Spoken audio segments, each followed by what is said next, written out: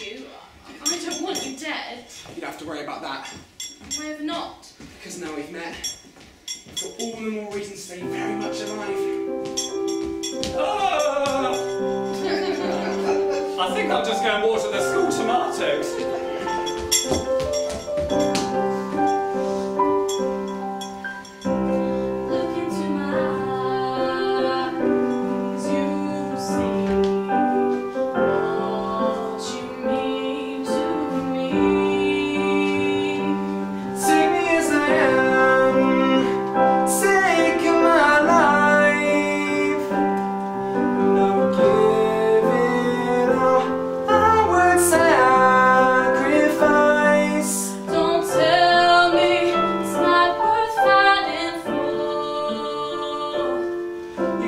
until